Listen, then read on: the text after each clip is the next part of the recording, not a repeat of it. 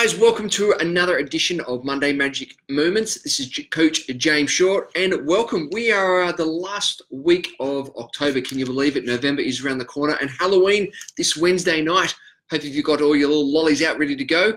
Our kids are super excited about the trick or treating, so uh, our places around Botany and Sydney absolutely gets crazy.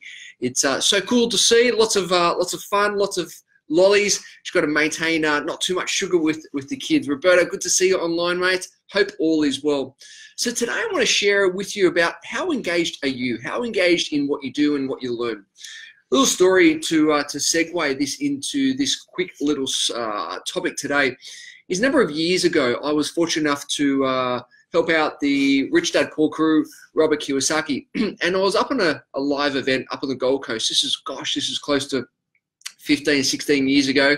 And um, what we did is I looked around. This was a, obviously I was on support crew. and looked around. There's, these people are coming in time and time again uh, to, to, to learn, to grow.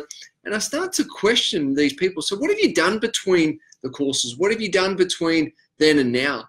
And you could see, you could hear the, the, the, the, the blankness. And so what we did, what I actually did was I formed a relationship with, with nine other people who are actually from Sydney, but they're up on the Gold Coast at this event. And we formed a mastermind group. And what we did is that oh, from that mastermind group, we met for, I think it was close to three years, every single fortnight. And we implemented our learnings. We implemented what we what we taught, what we learnt from previous courses, from books, from what we discovered throughout the fortnight. And being held accountable to a group was so powerful. Being held, knowing that you had to report in what you were going to do over the last fortnight was huge. So much different from, I guess, going one on one. That whole group environment where you had 10 people around looking at you going, hey, dude, you committed to this. What, what happened? What worked? This sort of led me to, to fast forward to today. And how engaged are you? So we read books, we, we attend courses, we, we can, you know, we partake in programs. But what do you do? What's your strategy to, to maintain your own engagement? What's your own maintain how do you maintain your own engagement? What do you do once you read a book? Do you just go, mm, that was nice, put it back on the on the shelf and, and away you go? Or do you actually take notes and do you highlight and you go, right, this next month I'm going to implement X?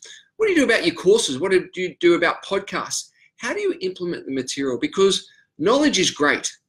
Knowledge is fantastic. But unless you have the implementation of that knowledge, it's just knowledge. And so I'm going to ask you guys today, how do you maintain your engagement? How do you ensure that you are engaged in what you do? And how do you ensure that you, you, you take that engagement and you take action? So there we go, guys. How engaged are you in what you do and what you learn? I'd love to hear your thoughts.